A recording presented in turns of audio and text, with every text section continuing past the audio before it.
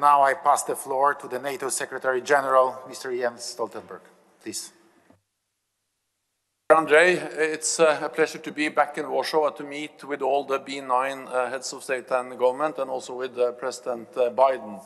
And Joe, I would like to say to you that I'm so uh, pleased and so impressed by the outstanding leadership uh, you show and your visit to Kiev sent a clear message of steadfast support to Ukraine and America's ironclad, uh, ironclad commitment to the security of uh, Europe.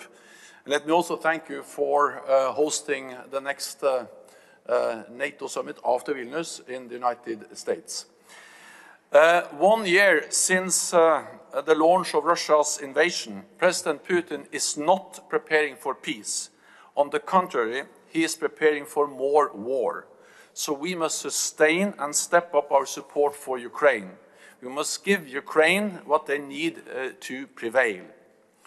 We don't know when uh, the war will end, but when it does, we need to ensure that history does not repeat itself.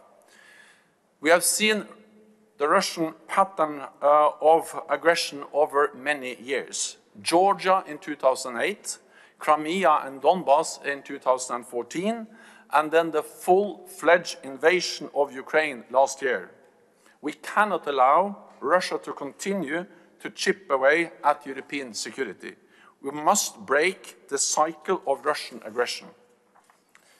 NATO allies have never been more united.